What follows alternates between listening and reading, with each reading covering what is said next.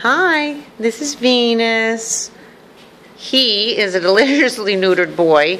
Very sweet. Oh, yeah. He's FIV positive, which if you look up, you can actually live a very long time as a cat with FIV. You can even live with other cats, although we probably would want you to have an FIV cat in your home already, or be the only cat. So easy to be the only cat. He's super, super yummy guy. Very friendly. Oh, and sweet. Yes, he is. Yeah, how did you get the name Venus when you're a boy? How'd you do that? Yeah. Oh, look at that pink nose.